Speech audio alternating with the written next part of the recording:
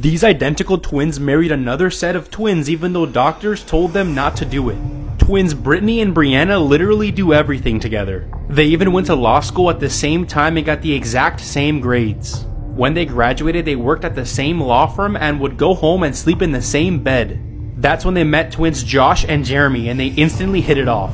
And when it came time to pop the question, both the twins proposed at the exact same time. Weeks later, all four of them walked down the aisle together.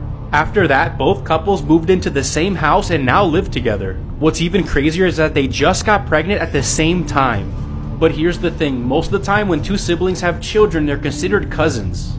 But doctors say that's not the case with them since they're identical twins. Instead, their children will be full siblings even though they have different parents.